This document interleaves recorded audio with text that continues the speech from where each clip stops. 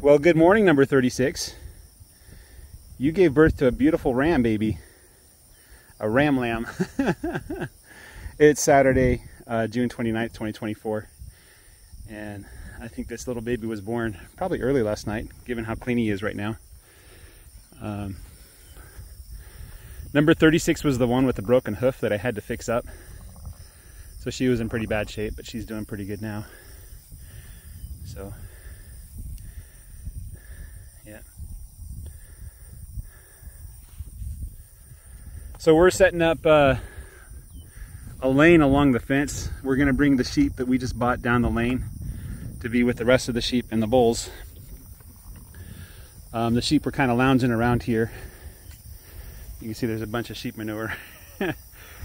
um, even though it's only like 82 degrees and 82% humidity um, and overcast, so there's no direct sunlight, they still prefer the shade. But I need them to spend as much time as possible out on pasture, pooping and peeing out there and grazing on that grass because um, uh, the trees have plenty of manure and they'll get plenty of manure throughout the year. So anyway, that's all I got for you guys. Have a great day. Take care. Bye-bye.